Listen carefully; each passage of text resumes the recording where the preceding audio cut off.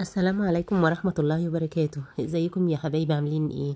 النهاردة بمشيئة الرحمن هننضف مع بعض الممبار بطريقة سهلة جدا. هنعمله بثلاث طرق للمبتدئين اللي ما بيعرفوش ينضفوا الممبار. وطبعا إخواتنا بتاع يع وإخي يبتعدوا لأن ممكن المنظر في البداية كده يبقى مش على ذوقهم. هنبتدي نسمي بالرحمن كده على طول. نجيب الممبار بتاعنا. زي ما هو كده ننزل بيه في طبق نغمره بالمية وعليه بقى نعصر ليمون علشان طول ما إحنا شغالين كده تبقى ريحة الممبار معانا حلوة. هنزل كمان بحوالي ربع كوب من الدقيق وكمان ربع كوب من الملح كده وادعكه كده الملح طبعا بيخشن الممبار وبينزل أي حاجة لزجة عليه موجودة على الممبار. هنبتدي ندعكه مع الدقيق كده الدقيق بيشيل الزفارة هو والليمون وابتدي بقى أسمي بالرحمن. أول حاجة بعملها إن هقلب الممبار. في كذا طريقة لقلب الممبار. أنا بحب كده أقلبه مع نفسه كده.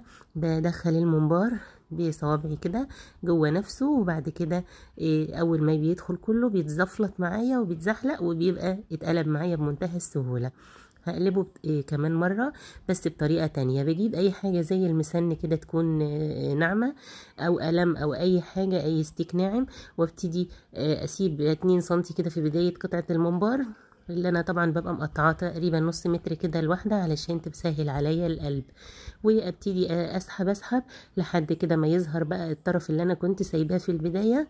بعدين بقوم سحباه وكده الممبار بتاعي بيبقى اتقلب بمنتهى السهولة. دي طريقة تانية نقلب بيها الممبار. شايفين أول ما بمسك الطرف الأولاني خلاص بسحبه وكده الممبار اتقلب معايا. نفس الفكرة بس طبعا أنا بحب أقلبه بالطريقة اللي هي إيه جوه نفسه دي.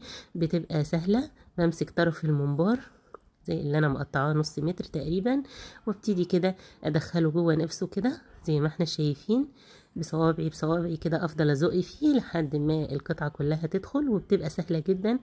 هوب على طول أقوم شداه وسحبة بقى الطرف اللي جوه ويبقى معايا زي ما إحنا شايفين بالشكل ده. بعد كده دي الطريقة دي بالنسبة لي سهلة قوي. أسهل من ان أستخدم ستيك أو أستخدم أي حاجة. هقلب بقى الممبار بتاعي كله بنفس الطريقة بمنتهى السرعة. لو عندك عشرة كيلو ممبار هتقلبيهم في ثواني بالطريقة اللي أنا بعملها دي.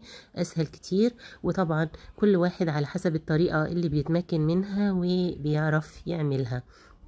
أنا الطريقة دي بالنسبة لي سهلة قوي وبتخليني أنجز وأعمل أي كمية من الممبار. لو عشرة كيلو بخلصهم بسرعة. شايفين بقلبه بسرعة إزاي؟ أنا خلصت الكمية كلها طبعا علشان ما أطولش عليكم الفيديو. تاني خطوة بقى اللي بعد قلب الممبار ببتدي بقى بيبقى جواه كمية من الدهن. فلازم نتخلص من الدهن ده لأن ما ينفعش نحشي الممبار وهو فيه الدهن الكتير ده. هيبقى طبعا تقيل جدا على المعدة وعلى اللي بياكله. لازم نتخلص منه. كمان مش هتعرفي تنضفيه من قلبه إلا لما تتخلصي من الدهون دي. شايفين كمية الدهون اللي بتطلع؟ كمية كبيرة جدا. لازم الممبار ينضف منها تماما علشان تقدري تغسليه كويس. وتتخلصي من أي ريحة موجودة فيه. بس بالراحة بقى وانتي بتشدي الدهون دي علشان ما تقطعيش الممبار معاكي وتهدري في الكمية اللي عندك. كمية الدهون اللي بتخرج دي بتخلي الممبار يعني لو انت جايبة كيلو بيصفى في الآخر على ربع كيلو لأنها تقريبا بتبقى قد الممبار ثلاث مرات. فإحنا هنخلص الكمية كلها نخلص الدهون دي ننزعها كلها وأبتدي بقى أصفي الممبار بتاعي في مصفى كده وأشطفه شطفة خفيفة علشان الخطوة اللي بعد كده. الدقيق مع الملح بنزل كمية كبيرة من المواد اللزجة اللي موجودة عليه وكمان أنا شلت منه كمية كبيرة جدا من الدهون. هحطه في كده تاني في الطبق زي ما إحنا شايفين وابتدي انزل تاني بشوية من الدقيق وكمان مكون سحري كده اللي هو بيكربونات الصوديوم. دي بتفور أي مواد لزجة موجودة عليه خاصة بقى لما انزل عليها كده بربع كوباية من الخل. ومحدش يصدق إن الخل بيثبت ريحة الزفارة ولا الكلام ده طول عمرنا بنستخدم الخل والليمون علشان نتخلص من أي ريحة زفارة والممبار بيبقى ريحته قشطة كده وفي الآخر بتشمي ريحة نظافة وريحة ليمون وبيبقى زي الفل. هعصر كمان ليمون في كل المراحل زي ما إحنا شايفين كده. أهم حاجة عندي أحط ليمون. وزي ما شفنا طبعا بعد ما حطينا الخل على بيكربونات الصوديوم الفوران حصل. الفوران ده بقى تقدري تسيبي الممبار بتاعك منقوع كده ربع ساعة أو نص ساعة علشان المواد اللزجة اللي موجودة عليه تتخلصي منها. دي كل الدهون اللي خرجت معايا. شايفين؟ قد كمية الممبار مرتين تلاتة. وطبعا مستحيل ناكل الممبار بالدهون دي كلها. بتجيبي كيس بقى آه وتقبل وتتخلصي بقى من الدهون دي كده وتربطيها قبل ما تحطيها في الباسكت. وبعد كده هنروح للخطوة الأخيرة اللي هي بقى آه كحت الممبار. طبعا إحنا آه قلبناه ونقعناه وكمان آه هننضفه وشيلنا الدهون. آخر حاجة بقى مرحلة الكحت. هكحته النهارده بثلاث طرق. أول طريقة طريقة السكينة. ببتدي احطه قدامي على صينية كده وأبتدي آه أسحب أي مادة لزجة موجودة عليه. وطبعا إحنا حاطين بيكربونات مع خل ففورت المواد اللزجة اللي موجودة على الممبار بتاعي شايفين بتخرج معايا إزاي بمنتهى السهولة. وخلي بالك وأنتي بتعملي بالسكينة تعملي بظهر السكينة علشان ما تقطعيش الممبار ويتمزع منك وتهدري برضو في الكمية بتاعته. إيه هنعمله بطريقة تانية. إحنا عملنا بطريقة السكينة. أجيب الطريقة التانية بنجيب سلكة من بتاعة المواعين اللي هي الاستانلس اللي هي الخشنة دي. آه طبعا بتبعدي خالص عن السلك الناعم. السلكة الخشنة دي بتكون أول استخدام زي ما إحنا شايفين. تمسكي الممبار بتاعك وتبتدي تسحبي بهدوء كده. شايفين المواد اللزجة اللي بتخرج معايا عاملة إزاي؟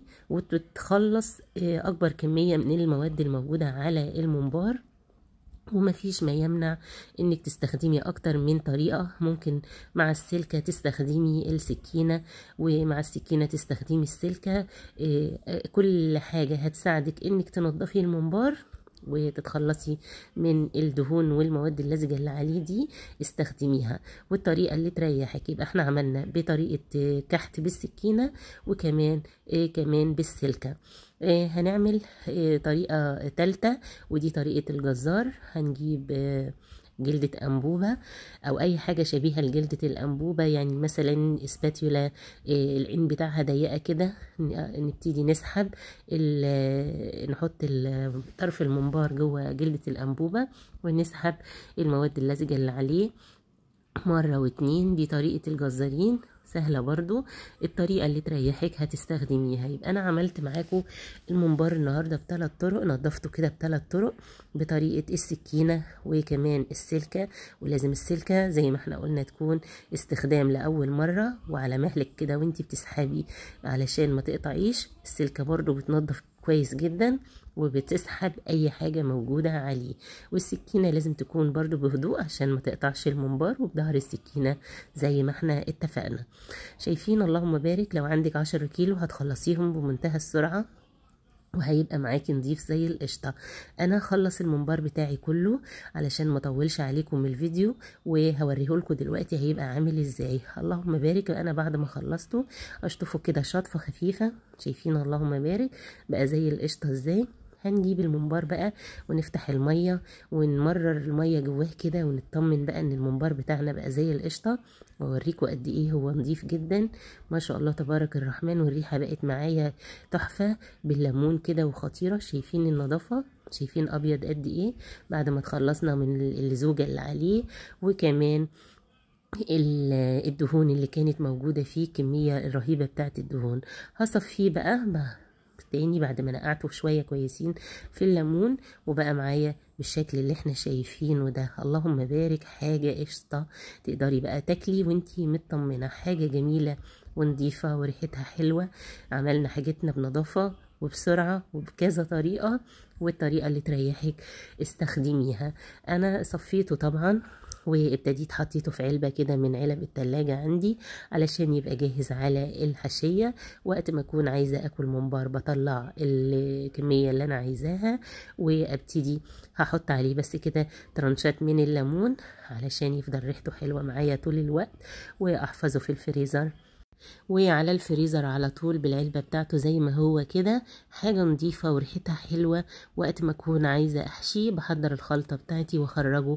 أحطه كده يفك قدامي على الرخامة وبعد ما يفك أنقعه في مية بليمون.